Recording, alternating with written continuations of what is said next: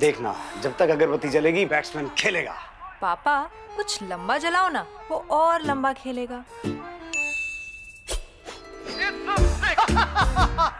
लिया लंबी अगरबत्तियाँ।